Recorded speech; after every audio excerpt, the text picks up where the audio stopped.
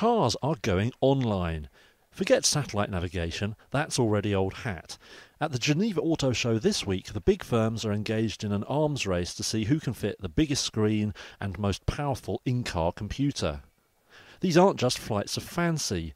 Ford says all its new vehicles will be connected to the internet by 2014.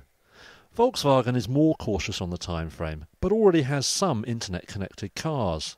Electronics director Volkmar Tanneberger says the next step is to break down the barriers between phone and car. Technologies in focus. Once connecting the infotainment system in the car with the internet, and the second focus is to connect mobile devices to our infotainment system and to make all the information and all the uh, data from your all the data from your mobile devices available with your infotainment systems. Much of what is coming certainly will be familiar to smartphone users.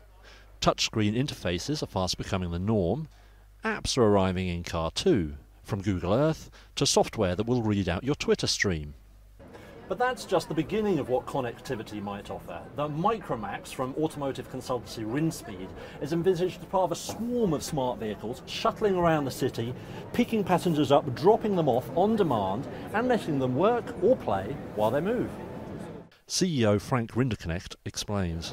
The connectivity for the Micromax is very important because we think of an urban swarm, meaning there are many Micromaxes driving around and you jump from one car to the other one depending on your route.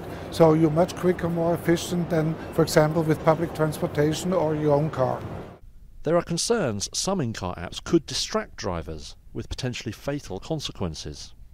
Industry consultant Jay Nagley says there's also a sense that cars are now not the focus for young people anymore. Ford think that having the best technology will be a way of making their car sexy. What worries car manufacturers, especially ones based in America and Japan, is that young people see cars as receptacles in which to put their interesting stuff. They don't see the cars as interesting anymore. That wouldn't be a problem if the car could drive itself, of course.